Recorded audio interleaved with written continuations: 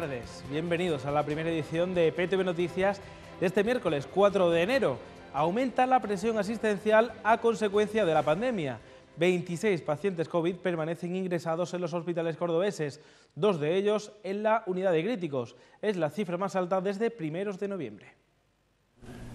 Las fiestas navideñas y el aumento de los contactos sociales han vuelto a elevar el número de personas ingresadas en los hospitales cordobeses. En apenas dos semanas la cifra ha pasado de las 16 camas ocupadas que había antes de Nochebuena a las actuales 26, el número más alto desde primeros de noviembre. Con todo, la presión asistencial está lejos de los peores momentos de la pandemia. Hace ahora un año, el 18 de enero de 2022, los hospitales de la provincia atendían a 202 contagiados con COVID y en febrero de 2021 llegó a haber más de 450 personas ingresadas, 17 veces más que ahora. Hace dos años las unidades de críticos estuvieron al borde del colapso, con más de 80 enfermos COVID frente a las dos camas ocupadas que hay en la actualidad. El actual repunte asistencial no solo afecta a la provincia de Córdoba. En el conjunto de la comunidad se han producido 40 nuevos ingresos en apenas siete días, elevando la cifra total por encima de los 240 pacientes COVID hospitalizados, afortunadamente muy inferior a los 2.300 de hace un año o a los 5.000 contagiados que llegaron a atender al mismo tiempo los hospitales andaluces en 2021.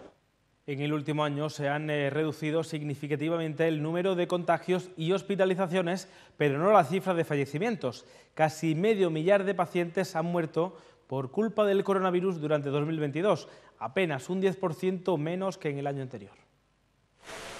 496 pacientes COVID han fallecido durante 2022 en la provincia de Córdoba, una negra estadística que mejora muy poco los 544 decesos de 2021, apenas un 10%, o los 616 que se produjeron en 2020, el peor dato de la pandemia.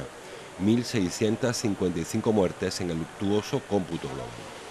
A pesar de la tendencia positiva que en general presenta la lucha contra el coronavirus, el número de fallecimientos decrece a una velocidad inferior que el del resto de parámetros. Tampoco cambia demasiado el perfil de las víctimas del coronavirus. Del casi medio millar de fallecidos en 2022, el 55% fueron hombres, frente al 45% de las mujeres, un porcentaje que se viene manteniendo con mínimas alteraciones en los tres años de la pandemia. A pesar del avance de las campañas de vacunación, sobre todo las personas de más edad, es en estos grupos etarios, en los de más de 60 años, en los que se produce casi el 95% de las muertes, una circunstancia que también se repite desde 2020. El año pasado no falleció ningún paciente COVID de menos de 40 años y desde el inicio de la crisis sanitaria solo ha muerto una persona, una mujer, de menos de 30. No se ha notificado ninguna víctima mortal menor de 20 años. En el conjunto de Andalucía, el coronavirus se ha cobrado la vida de más de 15.600 personas, 3.600 de ellas en los últimos 12 meses. A la vuelta de las vacaciones, o algunos días más tarde, los alumnos del Instituto Ángel de Saavedra tendrán una salida adecentada por la calle Sor Ángela de la Cruz. El ayuntamiento está culminando el arreglo del lacerado porque el peligro de atropellos era creciente. Enfrascado en la instalación de semáforos en la conexión de la Ronda Norte con la calle Ingeniero Ruiz Azúa, el Ayuntamiento de Córdoba recibió una petición de auxilio por parte del director del Instituto de Enseñanza Secundaria Ángel de Saavedra. Ante el aumento de tráfico en la zona, había que acondicionar el acerado de la calle Sor Ángela de la Cruz urgentemente para evitar una desgracia.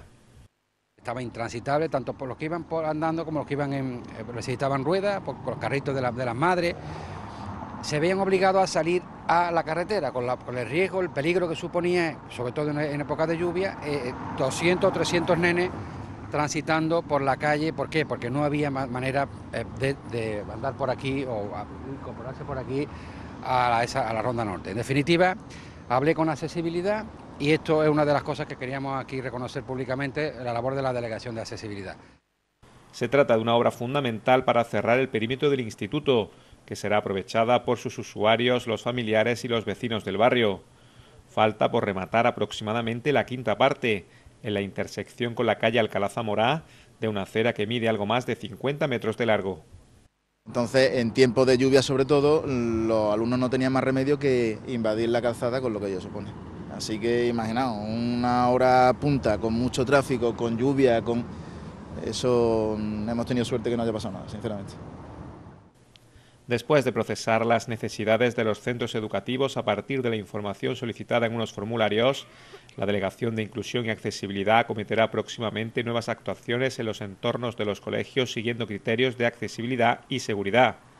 En este sentido, se acaba de adjudicar un contrato de rampas y barandillas.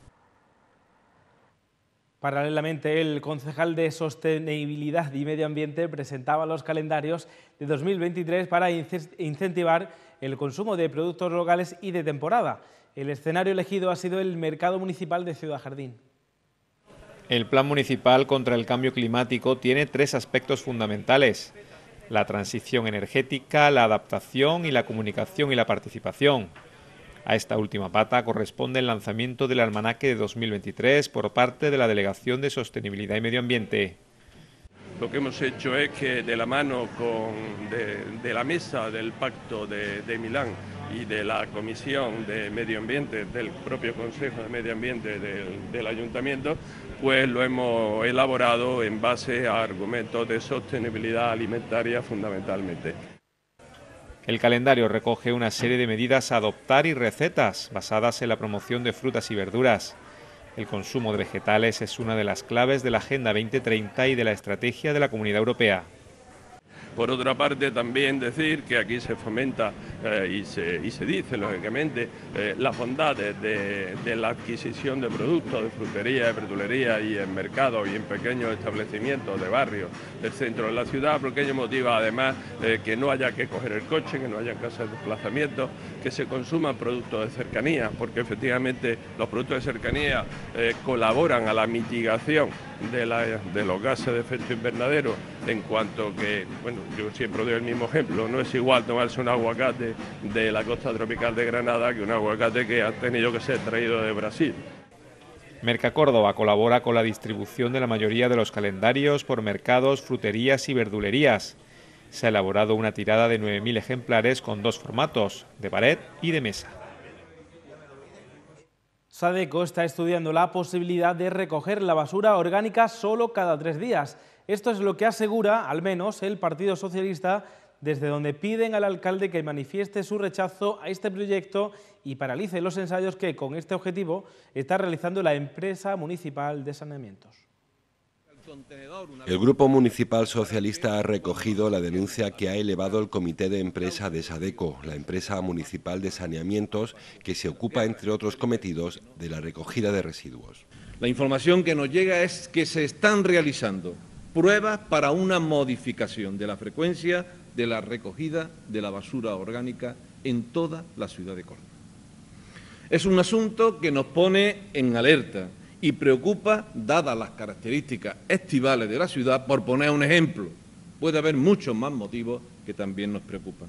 Se trata de una recogida de la basura orgánica cada tres días, donde consideramos, al igual que el comité de empresa, que sería un paso atrás en el servicio que se presta a la ciudadanía cordobesa y una reducción clara de los servicios públicos esenciales del Ayuntamiento de Córdoba. Rojas asegura que estos ensayos se están realizando sin que hayan sido informados el Consejo de Administración de Sadeco ni el Pleno del Ayuntamiento. El PSOE rechaza de plano que se aumente la frecuencia de la recogida de basura y denuncian que en una ciudad que supera los 40 grados de temperatura muchos días al año supondría un grave retroceso.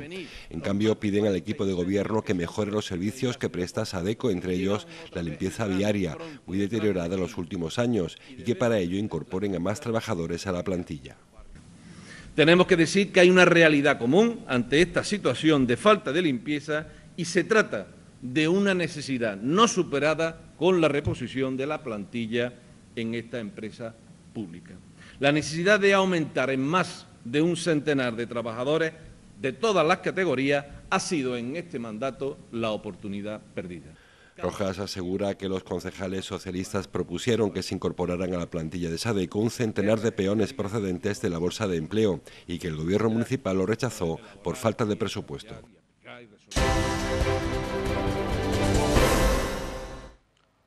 Pablo Alfaro inicia su etapa como entrenador del San Fernando con Ismael Falcón como entrenador de porteros.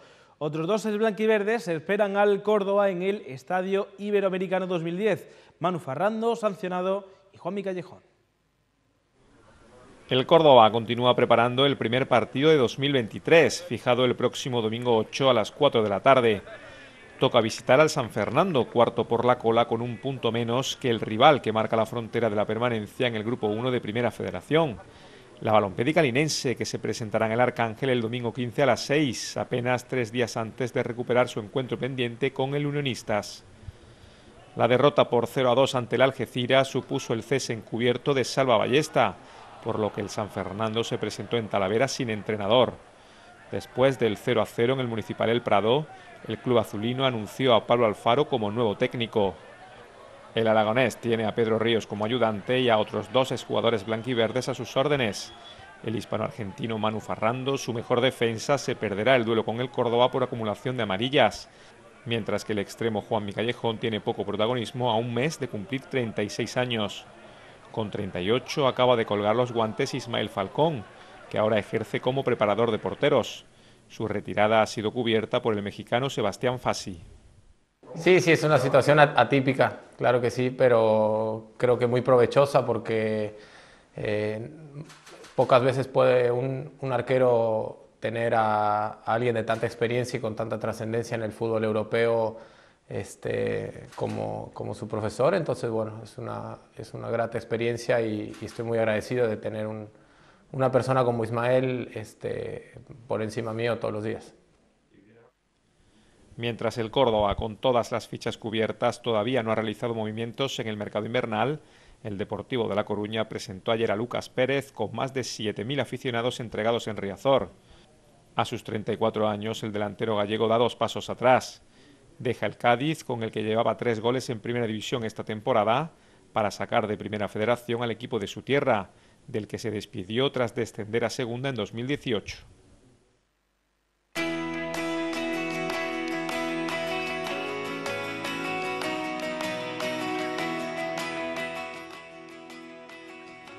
Según la predicción para mañana jueves, en la provincia de Córdoba habrá brumas y posibles nieblas matinales y cielos poco nubosos o despejados. Los vientos serán flojos de componente este, mientras que las temperaturas no experimentarán cambios o bajarán ligeramente. En la capital se esperan entre 4 y 17 grados. Es una información de la Agencia Estatal de Meteorología. El C3A ha batido su récord de visitantes en 2022 con un aumento del 109% con respecto a 2021. Casi 50.000 personas visitaron las exposiciones y participaron en las actividades programadas que tuvieron como protagonista la colaboración con la Fundación de la eh, Francesca Thyssen-Bornemisza. El Centro de Creación Contemporánea de Andalucía recibió durante el año 2022 un total de 49.433 visitantes, lo que ha supuesto un aumento del 109% con respecto a 2021. De esta manera, el C3A no solo duplica los visitantes del año pasado y recupera el público que, como consecuencia de la pandemia, dejó de acudir a espacios culturales, sino que bate su récord histórico obtenido en 2019 supera el dato de ese año en más de 14.000 personas, un 40% de incremento. Durante 2022, este espacio de la Consejería de Turismo, Cultura y Deporte llevó a cabo cinco exposiciones, dos de ellas fruto del acuerdo firmado con TVA 21 de tres años de duración. Además, volvió a recuperar el público de las actividades al aire libre, como cine, conciertos y performance, y los programas de producción, residencia, escuela nocturna y educativos. La eclosión vino en primavera con la gran muestra que ocupó todos los espacios expositivos. Futuros Abundantes invitaba a concebir la construcción del mundo y sus futuros ecológicos desde las premisas de la abundancia y la plenitud. Planteaba un diálogo entre visiones y propuestas artísticas de la colección TVA 21 para la ciudad de Córdoba, en torno a la multiplicidad de mundos en los que cohabitan humanos y no humanos. En esta amplia selección estaban representadas distintas generaciones de artistas, procedentes de geografías muy diversas. En otoño se produjo una renovación de las obras y se cambió el título a Futuros Abundantes en tiempos convulsos.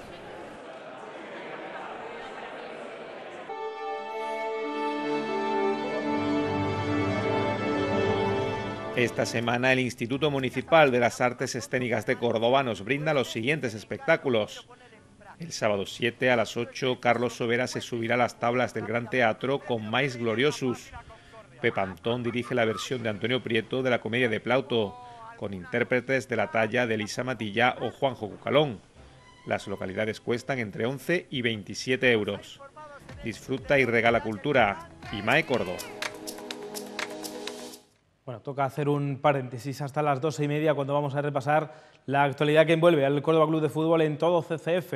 PTV Noticias, ya saben, esta tarde a partir de las ocho y media en su segunda edición, presentada por Raúl Díaz. Ahora nos vamos a marchar con este villancico a cargo de usuarios de los centros de participación activa. Hasta ahora.